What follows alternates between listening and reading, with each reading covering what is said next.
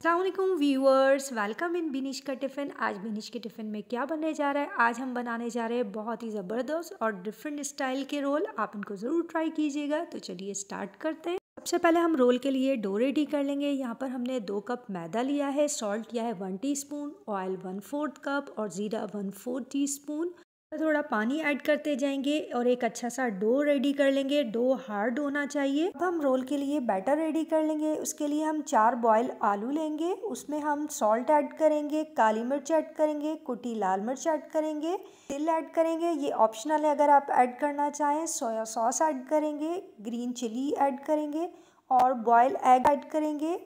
इसमें cabbage add कर देंगे और इन सब चीज़ों को मिक्स करके एक अच्छा सा बैटर रेडी कर लेंगे। हमारा बैटर रेडी है। अब हम रोल की जो डो हमने रेडी किया था, अब हम उसको अच्छा सा बेल लेते हैं और को हम इस तरह से पीस में कट कर लेंगे और बैटर रखेंगे और ऊपर उसको रोल करके उसके ऊपर पानी आप ज़रूर लगाइएगा थोड़ा थोड़ा जो हमने स्ट्रिप कट किए उसमें और रोल के ऊपर। और इन्हें जो स्ट्रिप कट किए हैं उनको इस तरह से ट्विस्ट देंगे और रोल के साथ इस तरह से हम फोल्ड कर देंगे। एक एक स्ट्रिप हम उठाते जाएँगे और ट्विस्ट करते जाएँगे और रोल में इस तरह से स्टिक करते जाएँगे। क्योंकि रोल में पानी हमने लगाया है, वो अच्छे से चिपक जाएगी। तो हर स्ट्रिप को इस तरह से हम ट्विस्ट देंगे और करते जाएँगे। तो इस तरह से सारे रोल देखें, ये रेडी है।